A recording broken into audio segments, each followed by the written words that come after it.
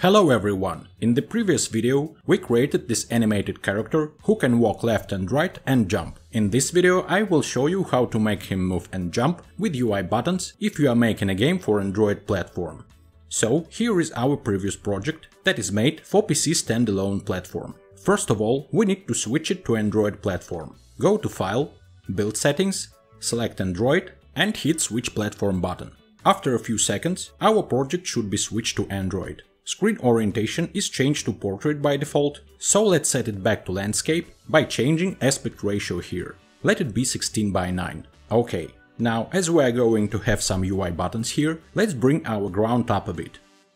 Like that. Next, to make it possible to move our character with UI buttons on Android platform, we need to import cross-platform input package, which is a part of Unity standard assets.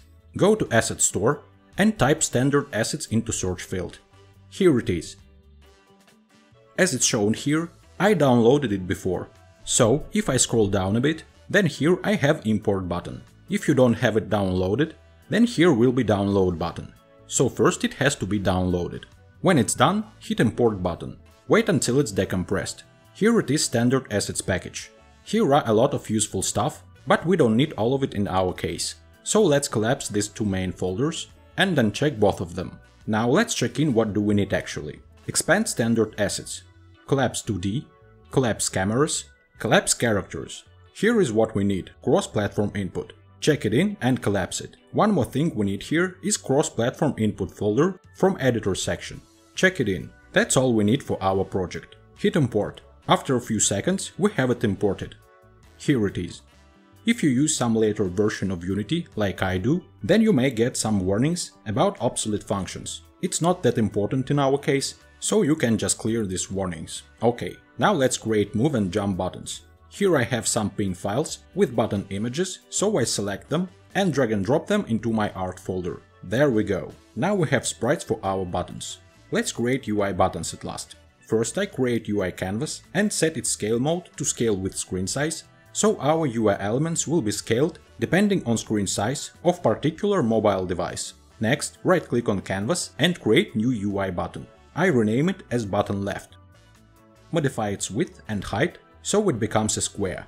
And clear its text field, we don't need it. Then duplicate this button twice, pressing Ctrl plus D keys, and rename these two buttons as button right and button jump. Anchor button left at bottom left, holding Alt plus Shift keys. Do the same for right button.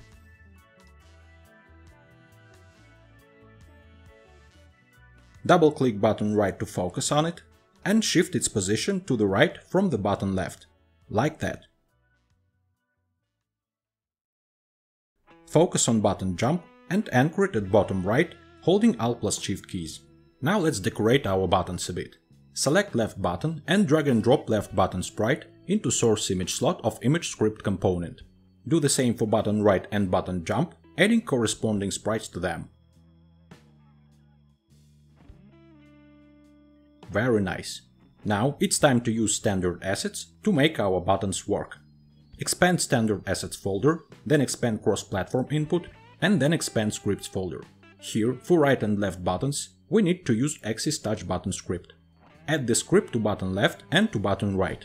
Select left button. Here in Axis Touch button script component, axis name will be horizontal, axis value will be negative 1 as its left button, and response speed and return to center speed should be set to greater values, so button will work correctly. Same for button right, with only difference that axis value will be positive 1 as its button right.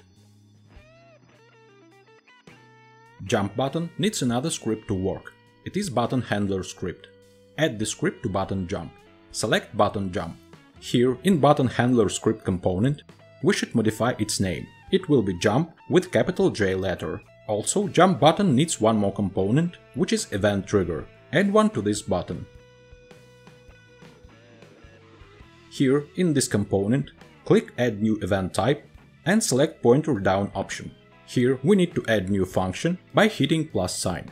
Then drag and drop our jump button into reference object field, like so and select new function here from button handler, which will be set down state. Then add new event type, this time it will be pointer up. Button jump is already added here, so all we need to do is to select a function from button handler, which is set up state in this case. That's it, our buttons are ready to work.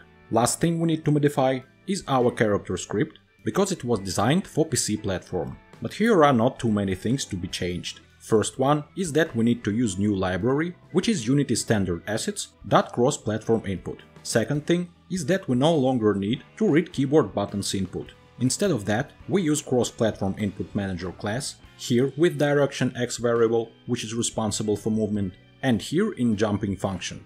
That's it. Don't forget to save the script. We are done.